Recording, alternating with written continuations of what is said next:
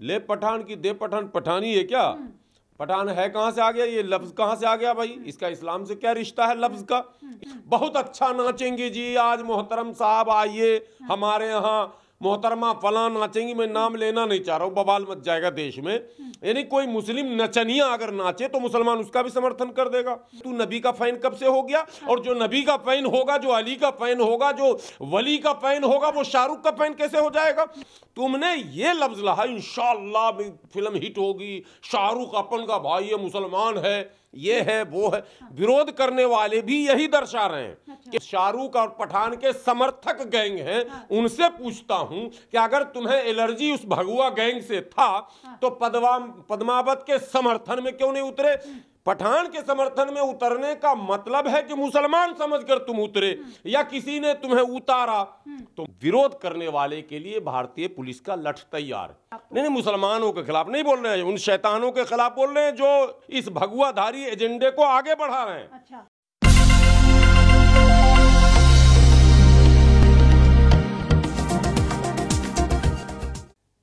एक बार फिर से स्वागत है आपका जनहित आवाज़ में। मैं हूँ आपके साथ पूजा। लगातार जिस तरीके से देश में माहौल चल रहा है, अभी कंट्रोवर्सी की अगर बात करें तो सबसे पहले पठान जो है वो चल रही है। और वहीं दूसरी तरफ़ एक और बात करें तो बीबीसी जो फ़ाइल आई है, मोदी के जो उसमें गोधरा कांड का ज़िक्र किया गया है, पूरा जो खबर दिखाई गई है उसको बैन किया जा रहा है। तो उसी पर अभी हमारे साथ चर्चा करेंगे हम। तो हमारे साथ हैं हाफिज़ गुलाम सरवर साहब तो साहब बहुत बहुत स्वागत है आपका हमारे जनहित आवास चैनल पर। शुक्रिया शुक्रिया आपका। जी तो जिस तरह से पठान का सबसे पहले पठान की बात करते हैं। पठान का बायकॉट कर रहे थे जो लोग आज वो उनको मात दे दी है उन लोगों ने। जा जाकर सिनेमा हॉल्स में देख रहे हैं। पहला ही शो जो है फुल जा रहा था। टिकट्स नहीं मिल रही थी लोगों को। उस पर क्या कहना चाहेंगे? हाँ, देखिए इसमें दो तीन बातें समझने की ज़रूरत है। बायकॉट कर रहा था कौन कर रहा था? आप अगर टोटल सोशल मीडिया को खंगालें टोटल जो मार्केट में चल रहे हैं तो बाइकआउट करने वाले मनुवादी गिरुआ वस्त्र और भगवा जो जो नाम आप दे दें, उसके समर्थन में भी कुछ भगवा वस्त्र पहनकर वही ब्राह्मण, वही मनुवादी समर्थन में, अल्लाह चाहेगा तो ये होगा, रसूल चाहेगा तो वो होगा, पंडित जी रो रहे हैं, पंडित जी हंस रहे हैं पंडित जी से हम ये सवाल कर रहे हैं कि पंडित जी आपने ऐसा क्यों किया? आप समर्थन में रो रहे हैं वो विरोध में चिल्ला रहे हैं गाली बक रहे हैं। आपने वो दृश्य भी देखा कि विरोध में लोगों ने हमारे नबी के शान में गुस्ताखी भी की। और अभद्र टिप्पणी की आपत्तिजनक बातें कही हैं जिस पर कार्रवाई होनी चाहिए पूरी। ये ड्रामा मैं देश को ये बताना चाहता हूँ कि इसको समझिए। खेल क्या हो रहा है पठान फ़िल्म पहले पठान नाम समझिए नाम मनुवादी है आप सम, पठान नाम ही मनुवादी नाम है। मनुवादी है। मनुवादी नाम है। पठान ही क्यों फ़िल्म रहेगा भाई? आप बताइए कोई दुनिया का फ़िल्म आपने देखा है? कोई जुलाहा फ़िल्म अंसारी मंसूरी रायन आपने इस फ़िल्म का नाम कहीं देखा कहीं सलमानी का देखा है? कहीं इदरीसी का देखा आपने? कहीं आपने क्या कहते हैं हवारी और धोबी का देखा है क्या? क्यों भैया? ले पठान की दे पठान। पठानी है क्या? पठान है कहाँ से आ गया? ये लफ्ज कहाँ से आ गया भाई? इसका इस्लाम से क्या रिश्ता है लफ्ज का? इस लफ्ज की बात मैं अभी कर रहा हूँ और इस जाति की बात कर रहा हूँ। ये एक गेम प्लान सेट किया गया कि मुसलमानों को उलझा मुसलमानों का एक तबका ऐसा मतलब बददिमाग तबका डेवलप हुआ इस देश में जो अपने जीवन का बहुमूल्य समय विरोध और समर्थन में बिता रहा सड़क पर। बहुमूल्य समय। चीज़ों को कभी न समझता है न परखता है न जांचता है न उसकी गहराई में जाने की कोशिश करता बस विरोध और समर्थन। ये दो चीज़ों में। अब अकॉर्डिंग टू इस्लाम पहले समझिए कि कोई भी फ़िल्म नाच आ, अगर शाहरुख खान पठान है उसका विरोध हुआ बात समझिए तो सलमान खान की माँ भी तो मुसलमान थी वो भी डांसर थी। तो उस, उसका अगर किसी ने विरोध किया तो मुसलमान उसका भी समर्थन करेगा। बहुत अच्छा नाचेंगे जी आज मोहतरम साहब आइए हमारे यहाँ। मोहतरमा फला नाचेंगी मैं नाम लेना नहीं चाह रहा हूँ बवाल मच जाएगा देश में। यानी कोई मुस्लिम नचनिया अगर नाचे तो मुसलमान उसका भी समर्थन कर देगा। मुस्लिम गवरिया का मैं नचनिया कह रहा हूँ अगर कोई गवनिया गाए नंगा नाचे उसका भी समर्थन सिर्फ़ इसलिए कि वो मुसलमान है। कोई मुस्लिम शराब पीकर घूमे उसका भी समर्थन सिर्फ़ इसलिए कि वो मुसलमान है। ये कौन सा लॉजिक है? ये समझ में बात नहीं आई। अरे पठान फ़िल्म हो शतान फ़िल्म हो कोई फ़िल्म हो फ़िल्म से क्या लेना देना हमारा? फ़ैन है शाहरुख खान के तो इसलिए जा रहे हैं तो जो शाहरुख खान के फ़ैन हैं वही लोग वही लोग वही लोग सी एनआरसी में सड़क पर वही लोग ज़्यादातर जो है आपको नबी की शान में गुस्ताखी नुपुर शर्मा ने किया तो सड़क पर। अबे तू नबी का फ़ैन कब से हो गया? और जो नबी का फ़ैन होगा जो अली का फ़ैन होगा जो वली का फ़ैन होगा वो शाहरुख का फ़ैन कैसे हो जाएगा? वो सलमान का फ़ैन कैसे हो जाएगा? ये सवाल भी तो आएगा ना। ये मैडम बात कुछ तो अपना स्टैंड क्लियर कीजिएगा कि नहीं कीजिएगा आप? नुपुर शर्मा ने जब गुस्ताखी की हमारे नबी के शान में सड़क पर उतरे तो ये गैंग उधर भी है गैंग है ये। ये गैंग है उधर भी है। क्या बदल रहा है तो क्या हो गया? ये आप तो इस- पर्सनल पर्सनल है ना कि फ़िल्म देख रहे हैं शाहरुख के फ़ैन हैं। दो बातें पर्सनल होंगी तो इस्लाम को क्यों लाया आपने? मुसलमान क्यों लाया? बस शाहरुख खान के फ़ैन है। शाहरुख हिंदू है मुस्लिम है सिख है ईसाई उससे में क्या मतलब तुम फ़ैन रहो बेचैन रहो फ़ैन बन के लटक जाओ उससे हमें नहीं लाया। तुमने ये लफ्ज लहा भी फ़िल्म हिट होगी शाहरुख अपन का भाई है मुसलमान है ये है वो है। विरोध करने वाले भी यही दर्शा रहे हैं अच्छा। कि शाहरुख मुसलमान इसलिए हम विरोध कर रहे हैं। उसने भगवा का अपमान किया। से हट के बात कर बिल्कुल। और समर्थन करने वाले भी यही कह रहे हैं कि शाहरुख मुसलमान है इसलिए हम समर्थन कर रहे हैं। अरे इससे पहले पद्मावत का विरोध हुआ। अगर विरोध करने वाला उस समय भी भगवाधारी था आपको याद होगा करनी सेना तब तुम क्यों नहीं उतरे? इस गैंग से जो शाहरुख और पठान के समर्थक गैंग हैं उनसे पूछता हूँ कि अगर तुम्हें एलर्जी उस भगुआ गैंग से था तो पदवा पद्मावत के समर्थन में क्यों नहीं उतरे? पठान के समर्थन में उतरने का मतलब है कि मुसलमान समझकर तुम उतरे या किसी ने तुम्हें उतारा। तो मुसलमान समझकर तुम उतरे हो इसीलिए मैं विरोध कर रहा हूँ कि मुसलमान समझकर फ़िल्म का समर्थन करना। मुसलमान फतवा है फतवा। इस्लाम से हटके कोई फतवा नहीं होता ये। ये फतवा है। इस्लाम हमें अ, क्या कहते हैं इस तरह की उरियानियत से बेहयाई से अश्लीलता से अभद्रता से हमें रोकता है। अश्लीलता जो उसमें दिखाया गया बेशरम रंग तो इस्लाम उसको पहले से ही हमेशा के लिए बेशरम रंग घोषित किए हुए है। बेशरम रंग नहीं, बेशरम ढंग।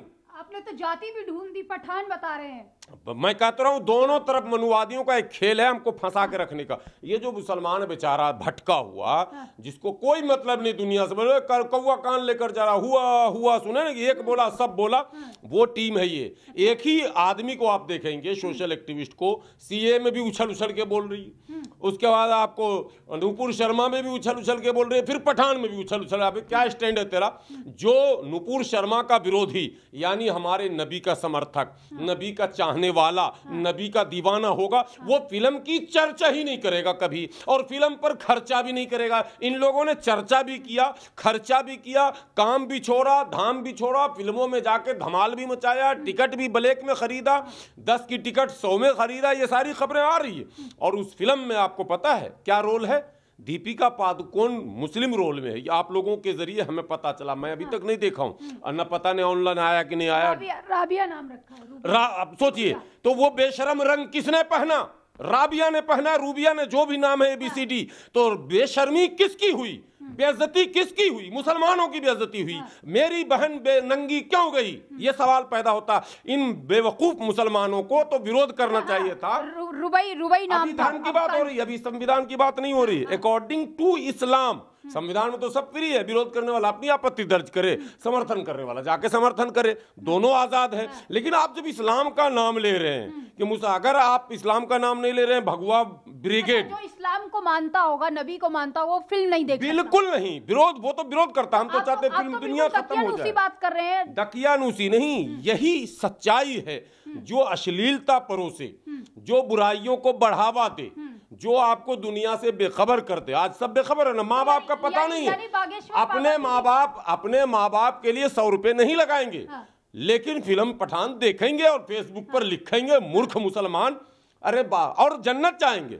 अरे माँ की सेवा करेगा तो जन्नत जाएगा।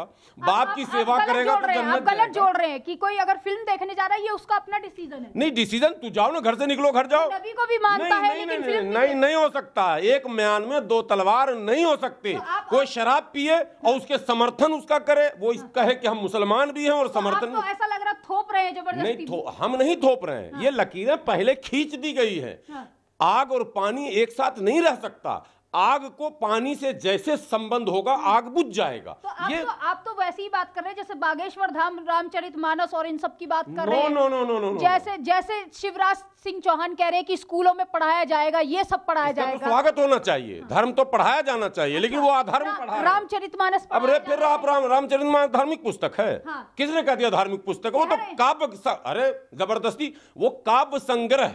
वो कविता लिखा तुलसीदास ने अभी जुमा जुमा आठ दिन हुआ लिखे हुए। हिंदू धर्म के बारे में किसी सनातनी साधु से इत्मीनान से आपके लिए भी नॉलेज की बात कर रहा हूँ। किसी सनातनी साधु से पूछिए हिंदू धर्म के बाबा से कि ये धर्म कितना पुराना है तो बोलेगा हज़ारों हज़ारों हज़ारों साल पुराना सबसे हाँ। पुराना। और तो गोस्वामी तुलसीदास अकबर के जमाने में लिखे हाँ। तो कैसे हो गया धार्मिक पुस्तक? बात समझ वो तो तुलसीदास ने राम जी की जीवनी पर एक पुस्तक काव्य संग्रह है। उसमें कविता है दोहा है समझ गए ना? हाँ। उस दोहा को अब तुम किसी भी किताब को मान लो आइए तो बाबा बागेश्वर को भी अवतार मान लें। तो ये एक अलग चैप्टर है।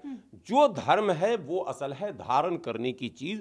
इंसान के जीवन में अमूल चूल परिवर्तन कर, कराने के लिए जो एक प्राकृतिक नियम है उसे धर्म कहते हैं। इस्लाम ने जो नियम दिया है वो अमन शांति भाईचारा कैसे कायम रहे प्यार मोहब्बत कैसे कायम रहे सोसाइटी में बुराई ना आए भलाई रहे सोसाइटी में कोई एक दूसरे को गलत नज़र से ना देखे। जब ये बात हम कहते हैं तो लोग कहते हैं आज के कथित तौर पर आधुनिक सोच रखने वाले कि इसका मतलब औरतों के पहनावे पर आप लगाम लगाते हैं, आप अपनी आँख बंद कर लीजिए।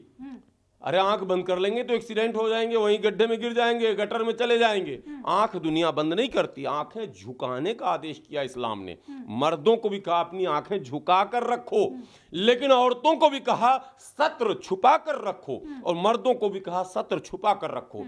ये जो नंगा नाच परोसा जा रहा जो नाइट क्लबों में हो रहा है। एक, एक मिनट। अभी जो रूबिका लियाकत है जितनी भी मुस्लिम एंकर्स हैं वो अगर बुरका पहनकर क्या वहाँ पर बुरका पहनकर वो एंकरिंग करेंगी रूबिका लियाकत ने खुद हमसे ये सवाल कर लिया था हाँ। जब फरमानी नाज पर डिबेट हो रहा था हाँ।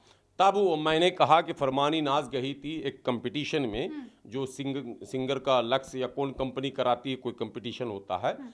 उसमें वो वो पहन मतलब दोपट्टा जो है हाँ। पहन कर गई थी तो मेरी मोहतरमा जो मेरी वाइफ हैं उन्होंने कहा था कि देखिए यहाँ भी ये आई है दुपट्टा सर से नहीं उतारी।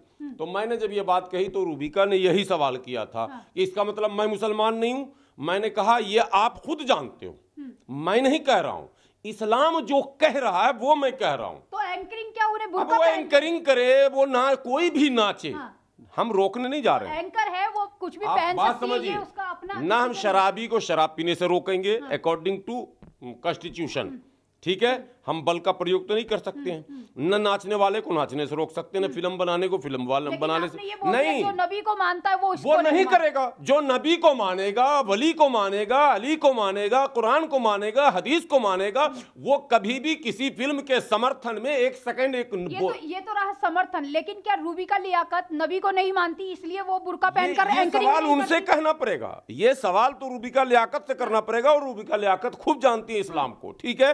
वो कि आपके हमारे पेश कर देने से हम कॉन्स्टिट्यूशन को गलत परिभाषित कर दें। तो मुकदमा हम जीत जाएँगे क्या? वहाँ दो जज बैठते हैं। दो वकीलों का डिस्कशन होता है उनका आर्गुमेंट्स होता है फिर जज दोनों के आर्गुमेंट्स को सुनते हैं। इशू वही होता है। वकील दो होते हैं। रहता संविधान ही है। दोनों का आर्गूमेंट्स होता है जज फैसला देता है। तो अब है कुरानी हमारा। ठीक है? दो वकील हैं। दोनों वकील का आर्गूमेंट सुनकर फैसला कौन देगा? जो एक्सपर्ट होगा इस्लाम का, कुरान का, जानने वाला। आप किसी एक्सपर्ट से मिलिए और पूछिए कि क्या इस अकॉर्डिंग टू इस्लाम, ठीक है? क्या उरियानियत, फहश क्या कहते हैं, बुराई या शराब या फ़िल्मों में जो नंगा नाच या नाइट क्लब या ऑर्केस्ट्रा या फला, क्या इसको इस्लाम एक्सेप्ट करता है? सीधा जवाब मिलेगा नो इस्लाम किसी कीमत पर इसे एक्सेप्ट नहीं करता है। इस्लाम इसको बातिल इसको क्या कहते हैं गलत इसको गुनाह करार देता तो जो गुनाह का अमल है जिसको पाप कहते हैं धर्म की भाषा अभी बोल रहा हूँ उस पाप की भाषा को पुण्य की तरह प्रचारित करना यह महापाप है। जिन मुसलमानों ने पठान का समर्थन किया, उन्हें तौबा करना चाहिए। उन्होंने महापाप किया है कि गुनाहों को सम, मैंने पाप को बढ़ाने का प्रचार अपना पैसा, अपना समय, अपनी ऊर्जा, अपना एनर्जी लगाकर लगाया। ये मैं असल कह रहा हूँ, उनको तौबा करने की ज़रूरत है कि उन लोगों ने गुनाह का प्रचार किया। अरे भाई ठीक है फ़िल्म चल रही दुनिया देख रही है। बॉलीवुड को गुनाह का प्रचार है ही बॉलीवुड गुनाह का अड्डा है। बॉलीवुड हो हॉलीवुड हो और त, क्या कहते हैं वो जो है ये तो कलाकार है वो कला कलाकार है तो उनको कौन रोक रहा है हम इस, उसको इस्लाम से नहीं जोड़ सकते हाँ। हैं सलमान खान इस्लाम का मुबलिक नहीं वो हीरो है फ़िल्म की दुनिया का तो रहे ना भाई हम्म। उसको रोकने हम गए कभी हम्म। कभी उसका हम पुतला जलाए कभी उसकी फ़िल्म का विरोध किए कोई मुसलमान नहीं करेगा करना भी नहीं चाहिए हाँ। भारत में भारतीय संविधान चलेगा हम्म। यहाँ शरिया नहीं है लेकिन चूँकि मैं मुसलमान हूँ मेरा बिलीव है मेरा भरोसा है कि इस्लाम हमें ये संस्कार देता है हमें मानना पड़ेगा। तो शरिया शरिया चलाने का आपका आप फिर नहीं समझे। हम्म। भारत में नहीं चलेगा। हाँ। सोसाइटी में नहीं चलेगा। हाँ, तो लेकिन मैं मुसलमान हूँ मेरे ऊपर तो चलेगा। मेरा बिलीव है कि मुझे मरना है मुझे हिसाब देना है मुझे ऊपर ईश्वर को बताना है। मुसलमान खुद तय करे खुद तय करेगा। मुसलमान तय नहीं। मुसलमान अगर वो कहता है कि हम मुसलमान हैं तो एक मतलब है कि शरिया जो उसको बताता है उस पर अमल करना चाहिए। शरिया किसी के कत्ल करने की इजाज़त नहीं देता, शरिया के गलत मायने लोगों ने समझ लिए। शरिया अमन शांति, इस्लाम का मतलब सलामती होता। सलामती के लिए ज़रूरी है कि एक रूल बने। कि आप जिए कैसे? आप किस तरह से घर का माहौल बनाए, किस तरह से सोसाइटी का माहौल बनाए, जहाँ अमन, चैन, सुकून, प्यार, मोहब्बत, सबका एहतराम बाप का क्या स्थान है, माँ की, माँ का क्या स्थान है, भाई का क्या स्थान है, बहन का क्या स्थान है, पत्नी का क्या स्थान है, बच्चे का क्या स्थान है, पड़ोसी का क्या स्थान? ये सब तय किया गया। उसी में ये भी एक चैप्टर है कि आपके शांति को आपके अमन को आपके नीयत को आपकी सोच को भंग करने के लिए जो चीज़ें आएँ उसको त्यागी इसीलिए शराब हराम है। आप सुनते होंगे गाँव गाँव में लोग कहते हैं दवा दारू। दवा से जुड़ा हुआ है कि नहीं? और दवा के अंदर भी वो चीज़ें होती हैं जिनको अल्कोहल वगैरह आप कहते हैं। लेकिन दवा जायज़ है दारू हराम है शराब। तो दवाई नहीं लीजिएगा फिर। अब सुनिए दवा मैं यही कह रहा हूँ कहावत तो ऐसा है दवा दारू जैसे लग रहा है दोनों एक दूसरे का पूरक है। हाँ। अगर मैंने जब भी बोलते हैं बूढ़े पुराने आज भी बोलते हैं दवा दारू चल रहा दारू कहाँ चल रहा है? दारू तो इस्लाम में हराम। हाँ। इस्लाम में वो तमाम नशा हराम है जो बेखुद करते जो आपको खो दे। पहचानने से आप सामने आप सामने मेरे हैं। हाँ। इंटरव्यू ले रही पूजा नाम है। हम्म। मुझे पता है कि पूजा है जनहित आवाज़ की पत्रकार हैं हाँ। और बेहतरीन एंकर है। तो मैं आपके साथ मेरा जो व्यवहार होगा वो हैसियत मैंने एंकर और पत्रकार के होगा। हम आपको उसी नज़र से देखेंगे उसी तरह से एहतराम करेंगे उसी तरह से इज़्ज़त करेंगे। ये है इस्लाम के भाई जिनका जो मकाम है वो आप दीजिए। आप कहीं पी पा के लुढ़क मत जाइए कि बहन को बीवी बीवी को बहन नहीं समझे? हाँ। किसी को कुछ किसी को कुछ तो समाज बिगड़ जाएगा। हम्म। समाज बिगड़ने नहीं देना। हम्म। समाज को बना कर रखना जिसकी जो ड्यूटी है सबका कर्तव्य होता। और कर्तव्य का निर्धारण किया गया। और कर्तव्य का निर्धारण केवल इस्लाम ने नहीं कहा। भारत का संविधान भी बिल्कुल इक्वल चल रहा है इस्लाम की ही तरह। वो भी कर्तव्य का निर्धारण करता है। आप फंडामेंटल राइट्स की बात है फंडामेंटल ड्यूटीज़ भी बताए गए कि आपको ये ये ये ये करना चाहिए देश में अमन चैन सुकून शांति लाने के लिए। तो ये चीज़ें मैं ये कह रहा हूँ कि यहाँ विरोध करने वाले के लिए भारतीय पुलिस का लठ तैयार। वो सीन आप देख भी रहे हैं। जहाँ जहाँ विरोध हुआ जहाँ जिन लोगों ने लॉ एंड ऑर्डर डिस्टर्ब किया लठ लगा ये भी आपने देखा लेकिन मध्य प्रदेश में बजरंग दल वाले तो निकाल निकाल के सिनेमा घरों से बाहर निकालने की नहीं देखोगे और बाहर जाके बोल रहे हैं हम्म। कि नबी तेरे बाप का नाम जय श्री राम जय श्री राम गिरफ्तारी हुई या नहीं हुई हाँ। गिरफ्तारी की खबर है कि नहीं आपको गिरफ्तारी की अब सुनिए यही कह रहा हूँ भारतीय लोकतंत्र में अगर संविधान का सम्मान सरकार नहीं करती है हम्म। चाहे सरकार ए बी सी डी किसी की हो तो हम ऐसी सरकारों को बदलना चाहते हैं। और हमें बदलने का अधिकार भी बाबा साहब के संविधान ने दिया है। आज जो परिस्थिति है, मैं जान रहा हूँ इस बात को कि मौजूदा सरकार पोलराइजेशन करना चाहती है वो, लेकिन मैं ये कह रहा हूँ कि उसमें अकेला सरकार या भगवा गैंग शामिल नहीं है उसमें मुसलमानों की बहुत बड़ी जमात है जो प्रोवोक करते हैं आप उनके एजेंडे को आगे बढ़ाते हैं वो तो उनका तो एजेंडा है हमें पता है कि उनका तो एजेंडा है, वो ये कराएँगे। उन्होंने पैसे दे के भगवा गैंग उतारे थे। उन्होंने सब कुछ करके उतारे थे ताकि कुछ माहौल बने। हमने उनके एजेंडे को सफल किया और इस्लाम के नज़र से देखें तो हमने सरासर पाप किया, जुर्म किया। और अगर देश की निगाह से, कानून की निगाह से देखें तो हमने ऐसी सरकार, जिस सरकार के रहते हुए संविधान पर अमल नहीं हो रहा है, वैसी सरकार के एजेंडे को मज़बूत किया। तो दोनों दृष्टि से वो लोग गलत हैं जिन लोगों ने हॉल में, अभी जो तस्वीरें आ रही सोशल मीडिया पर मैं वो वो मौलवी नहीं हूँ कि मैं सोशल मीडिया पर एक्टिव नहीं रहता हूँ मैं एक्टिव रहता हूँ मैं ट्विटर पर भी रहता हूँ। मैं जो तस्वीरें देख रहा हूँ उन तस्वीरों में मुसलमान के लौंडे अब लौंडे मैं बोल रहा हूँ लड़के सिनेमा हॉलों में डांस किए हैं जाकर अंदर। उपद्रव मचाया इन्होंने। इन्होंने माने जैसे लग रहा शाहरुख इनका सगा रिश्तेदार इनके घर राशन पहुँचाने आएगा इनको संकट में बचाने आएगा। जब देश में संकट आएगा तो शाहरुख आएगा भी शाहरुख का पच्चीस देश में मकान बना हुआ है। के खिलाफ बोल रहे हैं आप। नहीं नहीं मुसलमानों के खिलाफ नहीं बोल रहे हैं। उन शैतानों के खिलाफ बोल रहे हैं जो इस भगवाधारी एजेंडे को आगे बढ़ा रहे हैं। अच्छा। भगवाधारी एजेंडा है ये।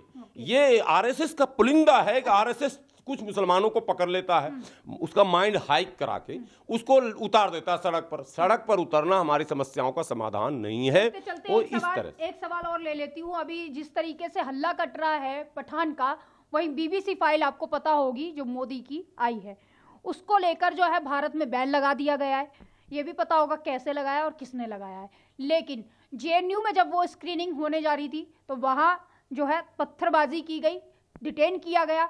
जामिया पर स्क्रीनिंग होने वाली थी तो वहाँ पर स्टूडेंट को घसीट घसीट के पकड़ के ले जाया गया आतंकवादियों की तरह। आज ड्यू पर होनी थी तो वहाँ पर भी स्टूडेंट्स पे डंडे बरसाए गए और घसीट कर ले जाया गया। इस पर क्या कहना चाहेंगे? देखिए जब सरकार ने बैन किया है हम्म। तो चाहे जेएनयू हो डीयू हो जामिया हो हम्म। जो लोग भी स्क्रीनिंग करना चाहते हैं वो भी ओपन हम्म। वो संविधान के खिलाफ है। सरकार चुनी हुई सरकार है ठीक है सरकार मेरे मन की नहीं है ठीक है सरकार संविधान पर शत प्रतिशत खड़ी नहीं उतर रही है। सब कुछ ठीक है। लेकिन सरकार ने बैन क्यों लगाया? क्या डर है मैं मैं मैं, मैं ये ये ये प्रश्न है असल। हाँ। असल ये प्रश्न है कि सरकार ने बैन क्यों किया? हाँ। लेकिन सरकार को यह अधिकार है बैन करने का और बहसियत भारतीय होने के नाते। जो लोग दुहाई देते हैं कि हम बाबा साहब अंबेडकर के बनाए संविधान पर अक्षरशः चलते हैं, उनके लिए भी कि सरकार ने अगर बैन कर दिया, वो असंवैधानिक हो गया, प्रतिबंधित हो गया, उसको देखना, दिखाना, ये अपराध की श्रेणी में आता है। एक बात, अब सरकार ने बैन क्यों किया? तो लोकतंत्र में ये डिबेट होना चाहिए। एक बार आपने बैन क्यों किया? ये दुनिया जानती है कि 2002 में जो कुछ हुआ, गोधरा में कथित तौर पर राम भक्तों के उस समूह को साबरमती एक्सप्रेस में जो आग लगाई गई। आज तक देश ये जानना चाहता है कि साबरमती एक्सप्रेस के डब्बों में उन डब्बों में जिस डब्बे में वो राम भक्त कथित तौर पर थे जो अयोध्या यात्रा को जा रहे थे उन डब्बों को चुनकर किसने आग लगाया? किसको ये पता था कि S four S three S two में ही राम भक्त हैं?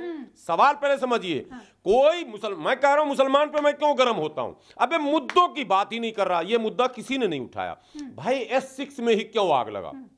बात समझ नहीं मुसलमानों को कैसे पता चला कि राम भक्त इसमें जा रहे हैं? क्यों मुसलमान रेलवे का अफसर था क्या?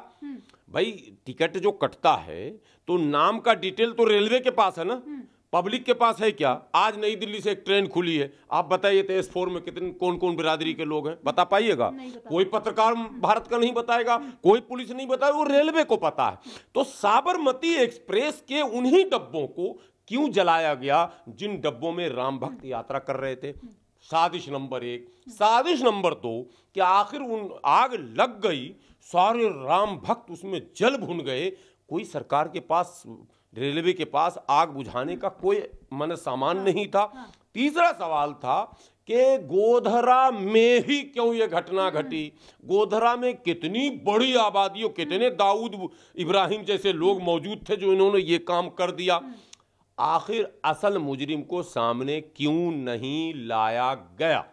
देश के अधिकांश लोग ये सवाल करूँगा मुझे भी उठा कर रख देगा क्योंकि नीतीश रेल मंत्री बने हल नहीं हुआ ममता बनर्जी रेल मंत्री बनी हल नहीं हुआ ये आज तक जाँच होकर सामने नहीं आया वैसे ही जैसे कश्मीर के उस समझ गए हाँ। वो जो सीआरपीएफ पे हमला हुआ आज तक पता नहीं चला ना आरडीएक्स कहाँ से आया हाँ। गाड़ियाँ कैसे आ गई कैसे हमारे जवान शहीद हो गए बम बलाट हो गए पुलवामा की बात कर रहा हूँ ऐसे अनेकों रहस्य हैं हम्म। जिसको केवल मोदी जी ने छुपा रहे हैं हाँ। तमाम दल उसमें शामिल हैं हम्म। और वो लोग भी शामिल हैं जो कथित तौर पर दलितों के बीच जाकर रोते हैं कि मैं बाबा साहब का अनुयायी हूँ, रामदास अठावले जैसे, उदित राज जैसे, जितने भी राम मर गए बेचारे, रामविलास पासवान जैसे हाँ। दल इधर, पट इधर, चित उधर। अबे, जो बाबा साहब का अनुयायी है तू, जब संविधान संकट में है, कह भी रहा भाषण में संकट में है तो संविधान तो संकट में छोड़ दिया, खुद अपना संकट खत्म करके जाके सत्ता से मिल गया। ऐसे लोग मुसलमानों में भी और दलितों में भी पाए जाते हैं, जो झूठ मंच से बोलते हैं। ये जो बीबीसी ने किया है, बीबीसी ने एक एग्जैक्ट फैक्ट फाइंडिंग का काम किया। हाँ। कि भाई हकीकत में 2002 में क्या हुआ था किसकी शह पर हुआ था पर्दे के पीछे से कौन खेल रहा था कौन था जिसने इतनी बड़ी साजिश रची हम्म। क्यों इतने लोग मारे गए हाँ। सवाल तो ये देश के लोगों को आज भी करना है हाँ। लेकिन ये बीबीसी ने किया सरकार को पता था कि इससे घेरे में देश के प्रधानमंत्री नरेंद्र मोदी सीधे सीधे आ रहे थे। जबकि उन्हें क्लीन चिट मिल गई फिर सुप्रीम कोर्ट ने क्लीन चिट दे दिया उनको दे दिया अमित शाह जी को दे दिया। हम्म। हरेन पांडे पांड्या वहाँ के गृह मंत्री मारे गए पता ही नहीं चला किसने मारा जस्टिस लोया मारा गया पता ही नहीं चला किसने मारा। ये तो बहुत सारे राज है वो बंद है जेल में क्या कहते हैं आई आईपीएस जो है उसका अभी तक कुछ आता ही पता नहीं कि उसका जुर्म क्या था हाँ संजीव भट्ट उसका कुछ नहीं पता चला इशरत जहाँ इनकाउंटर हो गया पता ही नहीं चला कैसे हुआ क्या जुर्म था तो राहस तो बहुत सारे हैं लेकिन क्या इन राहस पर पर्दा डालने का काम कौन कर रहा है और पर्दा खोलने का काम कौन रहा बीबीसी चूँकि विदेशी है और ब्रिटिश का है। तो वो तो डरता नहीं है। उसने सच खोला। तह तक वो पहुँचा उसने एक डॉक्यूमेंट्री बनाई। लेकिन सरकार को लगा दो बातें एक तो सीधे सीधे मौजूदा सरकार के मुखिया उसके निशाने पर आ रहे थे। हम्म। और दूसरे के ये कि पुराने जख्म को कब तक कुरे तो सवाल ये है कि जो स्क्रीनिंग कर रहे हैं उनको नहीं वो भी गलत कर रहे हैं वो भी जुर्म कर रहे हैं। नहीं पहुंचनी चाहिए नहीं नहीं पहुँचने की बात नहीं है। आप बात समझिए। सब कुछ मौजूद है आप देखिए। आप हल्ला क्यों कर रहे हैं? सरकार ने गलत जो चीज़ गलत है तो आप मौजूद है बैन कर दिया है हटा रहे जब बैन कर दिया है तो अब आप जिद कर रहे हैं कि छह बजे हम जामिया में स्क्रीनिंग करेंगे। मतलब क्या हुआ? सरकार को आप चैलेंज कर रहे हैं ना? सत्ता को चैलेंज करके कभी भी सत्ता बदली नहीं जा सकती है। सत्ता को बदलने के लिए डेमोक्रेसी में एक रूल बना हुआ। उस रूल पर चलिए एक रास्ता बना हुआ। और वो रास्ते पर चलिए। इलेक्शन में तो बिकते हैं टके टके में ये लोग। इलेक्शन में तो टुकड़े टुकड़े में बंटते हैं। इलेक्शन में एक एक सीट पर चार चार ओबीसी एससी मुस्लिम सब लड़ लड़ के मनुवादियों को जीतने का मौका देता है। पैसे खा खा कर चुनाव लड़वाता है। और वोट भी ही ज़्यादातर हमारे लोग उन्हीं मनुवादी पार्टियों को डालते हैं और बाद में कहते हैं कि ऐसे और वैसे और ये वो। ये क्या तरीका? सत्ता से टकराकर समस्या का समाधान नहीं हो सकता। सत्ता से टकराना भी अपराध है और अपराध सिर्फ़ ये नहीं कि वो संवैधानिक अपराध है। सामाजिक अपराध है, उस समाज का भी नुकसान होता है। आप देखिए, उदाहरण, आदिवासियों की टीम बनी, वो नक्सली। नक्सली बने सत्ता से टकरा ही रहा था हाँ। आपको पता है नक्सलवाद के नाम पर आदिवासियों का कितना मतलब शोषण हुआ हम्म। कितना अत्याचार हुआ कितना जुल्म सहना पड़ा हम्म। कितने परिवार बर्बाद हो गए हम्म। चला कोई और रहा था लेकिन आदिवासी सीधे सीधे उसके चपेटे में आ गए तो मैं ये कहना चाहता हूँ कि सत्ता से सशस्त्र टकराव या शाब्दिक टकराव। टकराव का मतलब होता तू ये करेगा मैं नहीं होने दूँगा। हम्म। तू बैन करेगा मैं दिखाऊँगा हम्म। देखूँगा खुल के देखू। ये गलत चीज़ है। गैर संवैधानिक भी है गैर सामाजिक भी है। बैन हो गया आपको बहुत मन है देखने का बंद कमरे में मिल जाएगा कहीं ना कहीं अभी भी है। सोशल मीडिया का दुनिया बहुत लंबा चौड़ा। हम्म। मैंने एक जगह नहीं है। हर जगह वहाँ पर घूम रहा है। लिंक डाल रहे बीबीसी डॉक्यूमेंट्री वहाँ पर तो बैन बंद किया जा रहा है वहाँ पर नहीं कई लोगों ने डाउनलोड कर लिया कई लोगों ने रख लिया कई। लोग दाएँ बाएँ कर रहे हैं वो कहीं ना कहीं। देखने वालों को एक बात बताओ बहुत सारी पुस्तकें भारत। में ऐसी रही तस्लीमा नसरीन की लिखी पुस्तक वो बैन हुई तस्लीमा नसरीन भाग यहाँ से सलमान रुशदी ने एक किताब लिखी वो बैन हुई आप जब रिसर्च करेंगे कि जो पुस्तकें बैन हुई हैं अब तक भारत में उन पुस्तकों की खरीदारी सर्वाधिक हुई है बैन होने के बाद जैसे होता है बैन वैसे इंसान होता है बेचैन। अरे क्यों बैन हुआ? हाँ। जुस्तजू बढ़ जाती। है। नहीं उसको पढ़कर देखेंगे आखिर था क्या इसमें मसाला। तो इस चक्कर में वो चीज़ें ये सरकार मा- अपने आप ये अपने ये मानव स्वभाव है। ये मानव स्वभाव है। जैसे वो पठान का विरोध करने आया हाँ। तो विरोध करने कोई नहीं आता तो समर्थन में इतना बेवकूफ़ लोग हाँ। उतरता नहीं। तो ये बैन भी बीबीसी बैन भी सेम टू सेम बैन का मतलब बेचैन आपने कर दिया।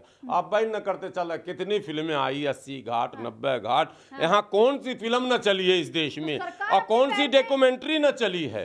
अपने पैर पे कुल्हाड़ी क्यों मारेगी? बैन करके ताकि और लोग देखें। रुचि बढ़ गई। ये सरकार भी आप भाई मीडिया के ज़रिए सारी बातें सरकार तक भी जाती है। ऐसा नहीं कि आपका चैनल सर्च नहीं होता होगा। हाँ, हाँ। मैं सीधी बात करता हूँ कि जिन जिन चीज़ों को प्रतिबंधित किया जाएगा मानव स्वभाव बच्चों को बेटा ये चीज़ मत छूना।